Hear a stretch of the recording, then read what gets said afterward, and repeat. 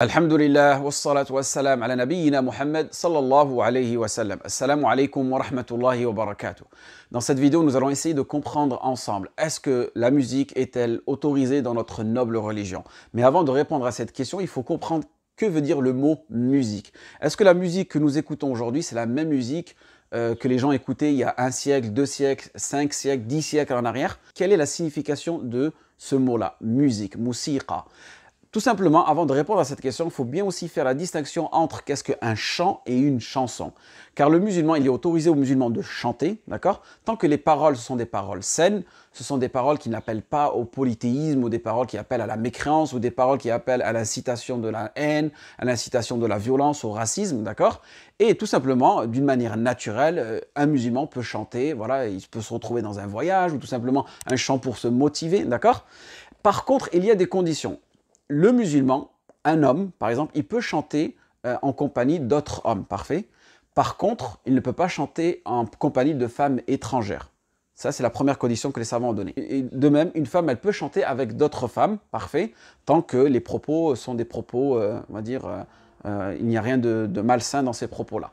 Et la femme, dans des situations spécifiques, elle peut utiliser le tambourin, ad-douf, d'accord? Les situations dans lesquelles il a été relaté dans les hadiths du prophète sallallahu alayhi wa sallam, c'est euh, par exemple pour la célébration d'un mariage ou tout simplement pour les deux fêtes de l'Aïdain, d'accord? Pour tout simplement montrer sa joie. Donc ça, c'est au niveau du chant. Maintenant, nous allons parler au niveau de la chanson. La chanson, regardez, il y a deux termes, le mot chant et le mot son. C'est-à-dire c'est un chant qui est accompagné avec un son. Et généralement, le son peut être un son musical, d'accord? Si le son, il est musical, c'est-à-dire qu'il y a des instruments musicaux. Et les instruments musicaux, est-ce qu'ils sont autorisés ou pas dans notre religion? Tout simplement, nous regardons ce que le prophète sallallahu alayhi wa sallam a dit. Il a été rapporté dans un hadith d'Al-Bukhari La yakunana min qummati c'est-à-dire qu'il y aura parmi ma communauté des gens qui considéreront euh, la fornication, billah, al-harir, la soie, spécifiquement pour les hommes, d'accord? Parce que la soie pour les femmes, elle est autorisée, le vin et euh, les instruments musicaux, euh, ils considéreront ça licite. Et euh, ce hadith nous explique bien que tous ces quatre, euh, ces quatre éléments-là, ils sont illicites. Et c'est pour ça que le musulman, euh, la musique qui est accompagnée euh, d'instruments musicaux, elle n'est pas autorisée.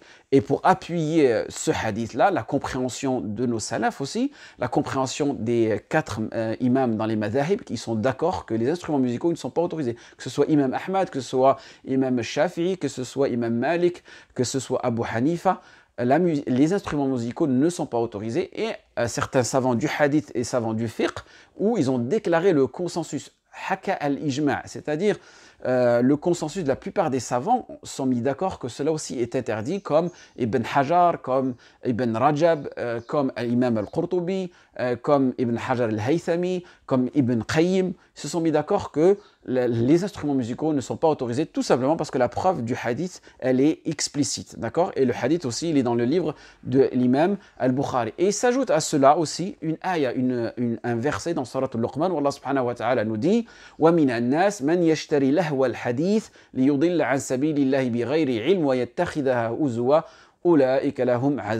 c'est-à-dire il y a des gens qui achètent des discours euh, plaisants c'est-à-dire ces discours-là plaisants c'est tout ce qui est en référence euh, à la chanson ou au chant qui est interdit dans notre religion d'accord? Qu'ils ont dans le but de dévier les gens euh, de notre religion ils prennent ça en raillerie aussi d'accord? Cela ces personnes-là auront un châtiment douloureux. Donc cette ayah, comment est-ce qu'on doit la comprendre? C'est pas à nous de la comprendre ou à vous ou à moi de l'interpréter. Tout simplement, des compagnons comme Abdullah ibn Mas'ud, comme Abdullah ibn Abbas ont interprété cette ayah et ils ont juré par trois fois Wallahi, Wallahi, c'est Al-Rina, Al-Rina. Al-Rina, ce qui peut être aujourd'hui euh, la signification de la musique, d'accord? Car comme vous avez vu tout à l'heure, on avait bien dit, les chants euh, sont autorisés mais avec certaines conditions et les chansons ne sont pas autorisées, d'accord?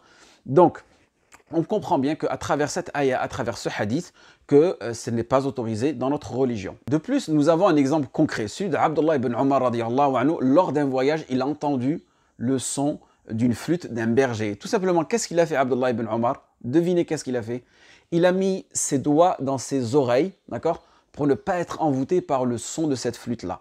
Et il a rapporté aussi qu'il a vu le prophète sallallahu alayhi wa sallam agir de la même sorte. Donc vous voyez là, on a un exemple concret comment les compagnons, comment le prophète sallallahu alayhi wa sallam se comportait envers les instruments musicaux. Et nous avons plein de hadiths, nous avons plein d'autres ayats qui vont dans ce même sens-là. Et euh, le but vraiment du musulman aujourd'hui, c'est essayer de s'éloigner de cette musique-là qui risque tout simplement de le retarder dans son apprentissage, dans sa religion, dans son développement euh, religieux, dans son développement spirituel. Car comme vous pouvez savoir, dans notre cœur, deux choses ne peuvent pas cohabiter ensemble.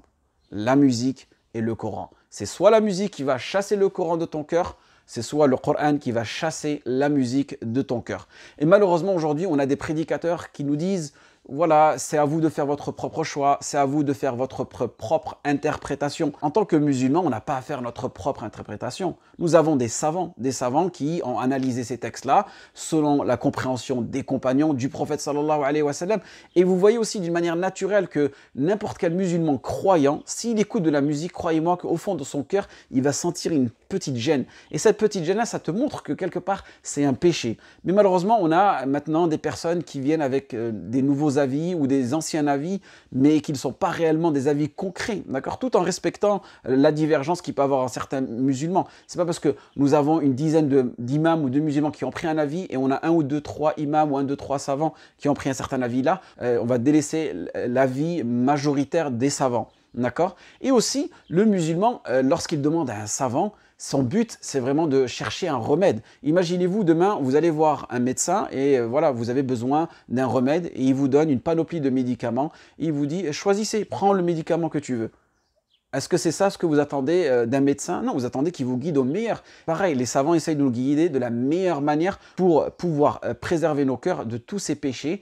Et comme vous pouvez savoir aussi de nos jours, c'est difficile pour nous, euh, par exemple, de prendre un Coran, d'apprendre le Coran, de lire la parole d'Allah subhanahu wa ta'ala. Donc si on rajoute cette tentation de pouvoir tout simplement écouter de la musique et mélanger musique et Coran, on ne saura même plus où est-ce qu'elle est la vérité. Et nous pouvons ajouter à ceci la parole d'Ibn Abbas anhu, qui nous dit Al-ghina min lil C'est-à-dire que la musique est une porte, est un moyen qui nous amène vers la désobéissance d'Allah subhanahu wa ta'ala et comme vous pouvez savoir, beaucoup de jeunes aujourd'hui se plaignent euh, des méfaits de la musique, car lorsqu'on écoute de la musique, généralement notre cœur s'alourdit et on a du mal à accomplir les obéissances qu'Allah subhanahu wa ta'ala nous a prescrites. Beaucoup de personnes vont me dire aujourd'hui, oui, nous connaissons le statut de la musique, je sais qu'au fond de moi la musique ce n'est pas autorisé, mais j'ai du mal à m'en débarrasser. Ça va être le sujet de notre prochaine vidéo, Inch'Allah, comment se débarrasser de la musique, comment ne plus euh, écouter de la musique. Euh, quelle est la méthodologie à utiliser, quelles sont les solutions que la Sunna nous propose. Ce sera le sujet de notre prochaine vidéo, en espérant que ce rappel soit bénéfique pour vous et moi. Wassalamu alaikum wa rahmatullahi wa barakatuh.